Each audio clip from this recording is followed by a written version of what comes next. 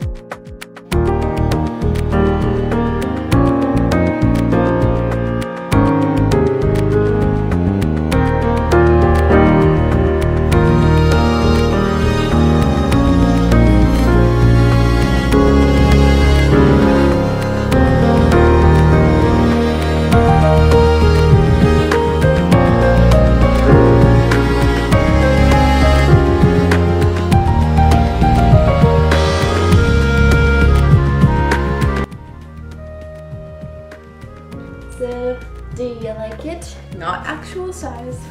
Teacup Yorkies are smaller. So, be sure to like the video if you liked it and subscribe if you want to see more videos like this. Thanks for watching guys and I'll see you next week. Bye!